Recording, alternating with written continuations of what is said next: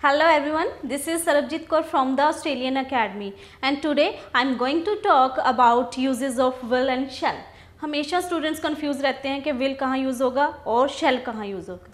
पहले तो मैं क्लियर कर देती हूँ कि विल अगर आप यूज़ कर रहे हो तो मॉडर्न इंग्लिश में इसको बिल्कुल करेक्ट माना जाता है। You can use will instead of shall to write and लेकिन जब हम पुरानी बुक्स पढ़ेंगे या हम जो नोट्स पुराने पढ़ेंगे तो उसमें क्या होगा कि शेल के भी यूजेस हैं।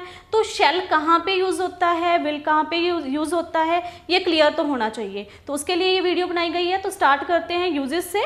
तो फ़र्स्ट अगर बात करें शेल और विल की फ्यूचर टेंस में यूज़ होता है।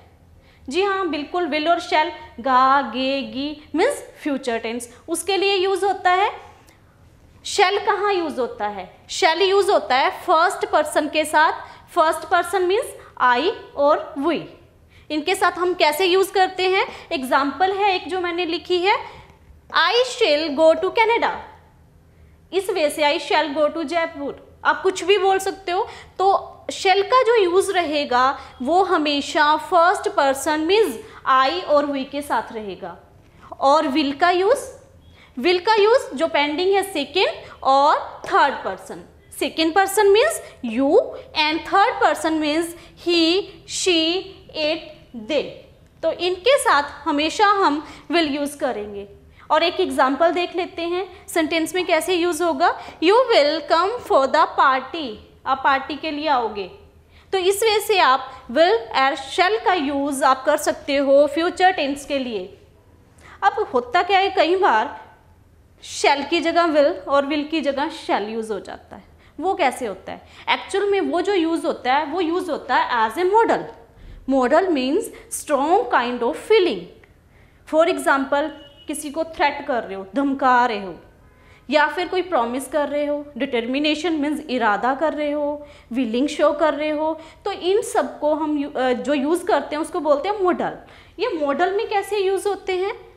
शेल यूज़ होता है सेकेंड पर्सन यू और third person he she it they के साथ। मीन्स ये अपनी प्लेस ही चेंज कर लेते हैं।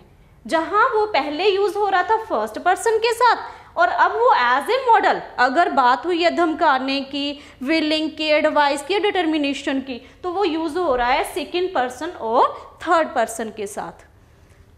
एक एग्ज़ाम्पल है he shall surely attend the function वो श्योरली पक्का है कि वो फ़ंक्शन अटेंड करेगा? तो इसमें एक श्योरिटी है। श्योरिटी के लिए हमने क्या किया? हमने विल की जगह पे ही के साथ शेल का यूज़ कर दिया। और विल कैसे यूज़ होता है? बिल्कुल, वो भी ऑपोजिट हो जाएगा। जहाँ वो यूज़ हो रहा था सेकेंड पर्सन और थर्ड पर्सन के साथ, अब ये यूज़ हो रहा है फ़र्स्ट पर्सन आई और वी के साथ। कैसे? फॉर एग्ज़ाम्पल अगर थ्रेट की बात कर ले I will break your head मैं तेरा सिर तोड़ दूँगा। तो थ्रेट धमकाने की बात हुई है तो ये विल के साथ होगी। आई जब आ रहा है तो विल के साथ आ रहा है। मीन्स ये है कि अगर तो आप फ्यूचर टेंस के लिए यूज़ कर रहे हो शेल और विल तो ये यूज़ होते हैं शेल फ़र्स्ट पर्सन और विल सेकेंड और थर्ड पर्सन लेकिन अगर आप यूज़ कर रहे हो एज ए मोडाल मीन्स आपकी बात के अंदर कोई modal strong kind of feeling आप बोल सकते हो कि आ रही है तो ये अपनी जगह चेंज कर लेते हैं।